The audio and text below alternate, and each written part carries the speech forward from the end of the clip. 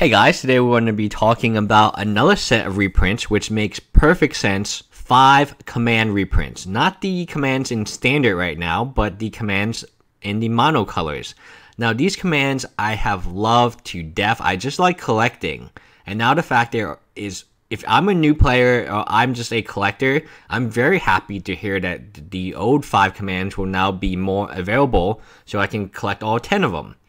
Now, that being said, Cryptic Command, we're going to take some time to talk about that card. That card somehow is $60 again. I haven't looked at the prices. I play sets of each of these cards, but I don't really check the prices that often. $60, that's insane. I mean, it was reprinted as a rare in Modern Masters 1.